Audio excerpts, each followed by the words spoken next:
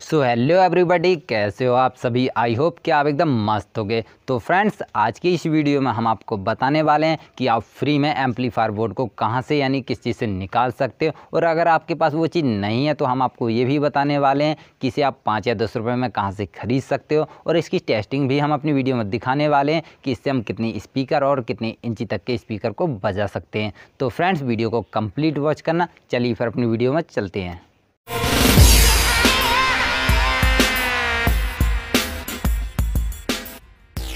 तो फ्रेंड्स, आज के इस ज़माने में ऐसा कोई भी घर नहीं होगा जिसमें कि टीवी ना हो। और अगर टीवी होगी तो उसे चलाने के लिए डीवीडी प्लेयर या सेट बॉक्स तो ज़रूर होंगे। और ये दोनों होंगे तो वो ख़राब भी होते होंगे, जो कि फ्रेंड्स हम रिपेयर कराने जाते हैं। और कई बार क्या होता है कि ये पूरी तरीके से ख़राब हो जाता है और रिपेयर नहीं होता। और हम नया सेटअप बॉक्स ले लेते हैं और पुराने वाले को या तो कबाड़े वाले को दे देते हैं या फेंक देते हैं। लेकिन फ्रेंड्स हमें ऐसा कुछ भी नहीं करना है। तो मैं आपको बता दूँ कि या तो इसका पावर सप्लाई ख़राब होता है या इसका कार्ड ख़राब होता। है और कभी कभी क्या होता है कि ये दोनों ही ख़राब हो जाते हैं और हमारे इस सेटअप बॉक्स के ये दोनों ही ख़राब है। और तीसरा दिया है ये छोटा सा एम्पलीफायर बोर्ड जो कि फ्रेंड्स कभी ख़राब नहीं होता, बहुत ही कम चांस होते हैं इसके ख़राब होने के। तो फ्रेंड्स मैं इसके कनेक्शन आपको समझा दूँ, जो कि फ्रेंड्स ये दोनों वायर दिए गए हैं, ये पावर सप्लाई से कनेक्ट रहते हैं, जो कि फाइव वोल्ट पावर देने के लिए हैं। और तीनों वायर होते हैं, जो कि स्पीकर सॉकेट से कनेक्ट होते हैं, ये स्पीकर के लिए हैं। और दो या तीन बार और होते हैं, जो कि फ्रेंड्स कार्ड से कनेक्ट होते हैं,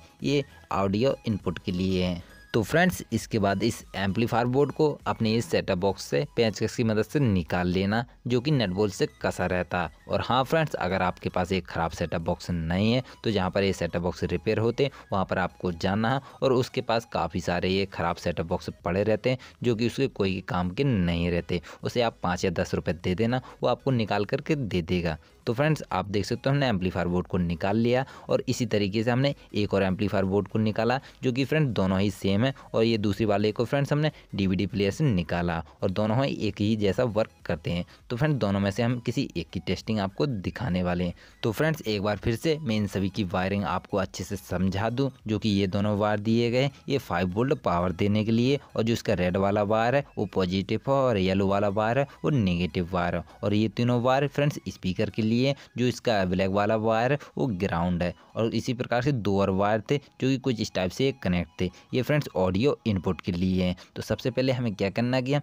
सोल्डरिंग आयरन की मदद से इन सभी वायर को रिमूव कर दे रहे हैं, जो कि फ्रेंड्स अपने मन से ही निकल रहे थे तो हमने रिमूव कर दिया। और इसके बाद हम ले रहे हैं एक डाटा केबल, जो कि फ्रेंड्स हमने इसे कट कर लिया, और इसके जो रेड और ब्लैक वायर है, दो को बचा लिया, और बाकी के दो को कट कर दिया।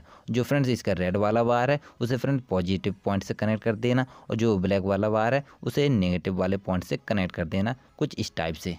और इसके बाद हम ले रहे ये तीन वायर, और इन तीनों वायर को जो स्पीकर के वायर कनेक्ट थे, उसकी जगह हमने इन तीनों वायर को कनेक्ट कर दिया। और जो रेड वाला वायर है, वो ग्राउंड वायर है। और फिर हम ले रहे हैं एक ऑडियो ऑक्स केबल, और इसमें भी फ्रेंड्स तीन वायर दिए गए हैं। और जो ग्रीन और ब्लैक वायर है, इन दोनों वायर को आपस में कनेक्ट कर देना। और कनेक्ट करने के बाद जो फ्रेंड्स एम्पलीफायर बोर्ड में जो ऑडियो के लिए दो वायर कनेक्ट थे, उसकी जगह हमें क्या करना है, इन दोनों वायर को सोल्डरिंग आयरन की मदद से सोल्डरिंग कर देना।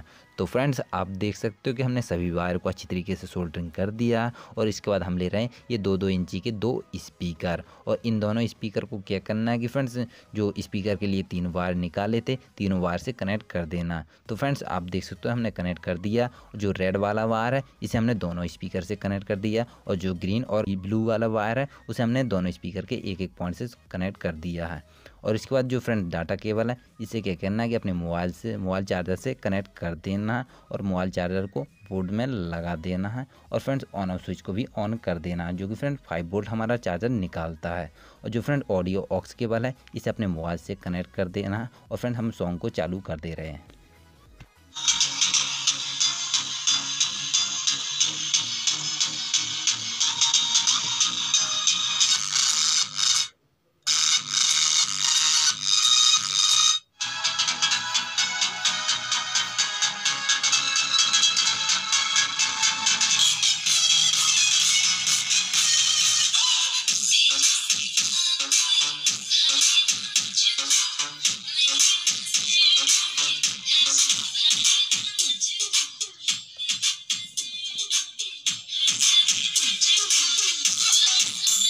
तो फ्रेंड्स, हम एक स्पीकर को निकाल दे रहे हैं और इसकी जगह हम ये छः इंची के स्पीकर को कनेक्ट कर दे रहे हैं और फिर इसे बजा करके देखते हैं कि ये कैसा वर्क करता है।